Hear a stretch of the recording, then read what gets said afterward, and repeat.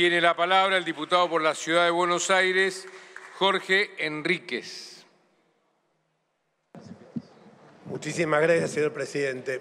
Escuché algunos discursos que realmente tenían un fuerte olor a naftalina, porque siempre machacón lo mismo. Medios concentrados, imperialismo, oligarquía vacuna, siempre es lo mismo. No, no cambiaron para nada.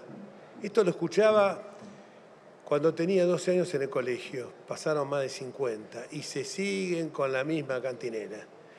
Entonces yo me pregunto, ¿es porque están defendiendo sus privilegios? Porque escucho hablar a algunos dirigentes sindicales que expresan discursos muy fogosos, pero cuando tienen que rendir cuentas, no lo hacen.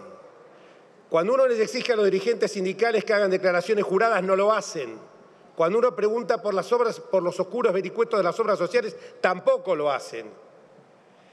Entonces yo digo, hoy cuando comenzó esta sesión, consiguieron el quórum, consiguieron el quórum gracias a esa oposición tan flácida, que es un cristianismo edulcorado, que se presentó como oposición, pero claramente no lo es. Y con esa complicidad, hoy festejaban, ¿qué es lo que festejaban? Que le roban la plata a los jubilados. Eso festejaban. Fíjense que tanto hablan del Papa Francisco, cultura del encuentro. La cultura del encuentro se está enterrando a pasos de acá con una ley que va a permitir la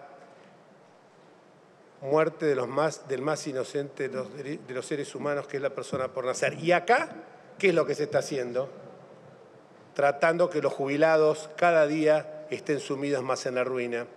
Y después vendrán los juicios. Claro, pero los juicios el Estado nunca lo va a pagar, entonces la biología va a cumplir un ciclo.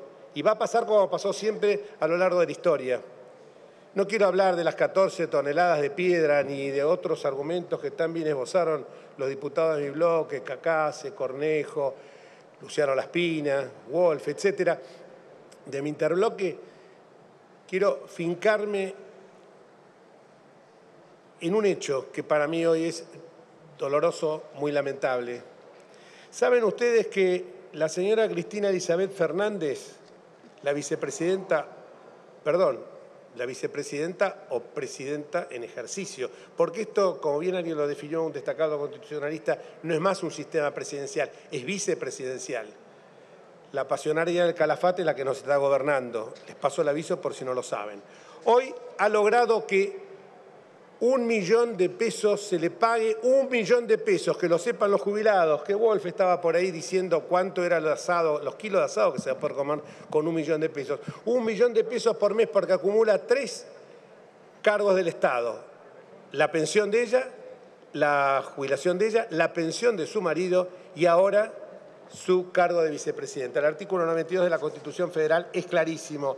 Ni el presidente ni el vice pueden percibir otro ingreso público más que el derivado de sus cargos. Quiero pensar que los que acá están jubilados, no es mi caso porque no me he jubilado por ética, simplemente porque sigo trabajando y tengo años de aporte, pucha si los tengo, pero por ética no me jubilé nunca, pero quiero saber cuántos de los que están acá no estarán cobrando a lo mejor la dieta de, diputado y el sueldo, porque si la vicepresidenta en ejercicio de la presidencia lo hace, ¿por qué no lo puede hacer un diputado?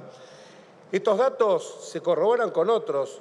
Bueno, claro, en un país donde se inauguró esta moratoria para delincuentes como Cristóbal López, como Facundo de Sousa, para que un criminal como Vudú directamente esté pensando en que está reclamando Hemos iniciado acciones legales en ese sentido. El gobierno en los pedidos de informes no lo contesta, solo lo hizo la Auditoría General de la Nación a, través de su presidente, el licenciado, el doctor Jesús Rodríguez.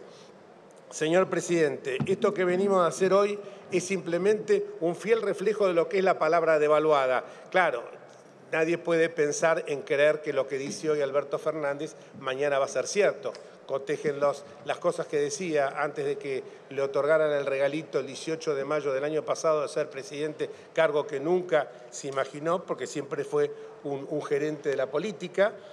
Y entonces ustedes tienen que pensar, cotejando eso, que él decía que entre los bancos y una pyme me quedo con la pyme, 40.000 empresas pymes cerradas y más de 60.000 eh, y otras 40.000 que están en una situación de riesgo muy crítica, lo cual afecta a un millón de trabajadores.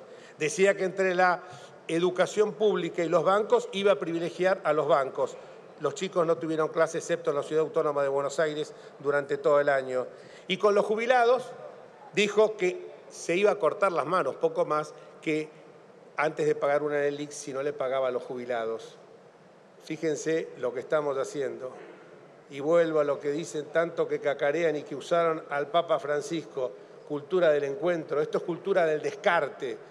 Esto es el descarte más salvaje porque están pegándole al sector más débil de la sociedad. Pero ¿cómo no va a ser cierto esto si acá en el mes de diciembre, en el mes de febrero cuando estábamos discutiendo los regímenes especiales de diplomáticos y de miembros del poder judicial, un subsecretario de seguridad ¿Saben lo que dijo? Que no necesitaban tanta plata los jubilados porque a la edad provecta, evidentemente... Vaya redondeando, diputado, por favor. Sí, sí, sigamos, sigamos un segundo sigamos, más. Sigamos, vaya eh, redondeando, por favor. Cuando me decía esto, yo digo, la verdad que, que falta de sensibilidad, porque uno le sabe que en determinada edad, sobre todo cuando uno es un adulto mayor, va a tener mayor necesidad de remedios, remedios oncológicos, aparatología, cuando uno carece de una movilidad ambulatoria, eh, geriátricos, sin embargo, muestran realmente lo descarnado que son.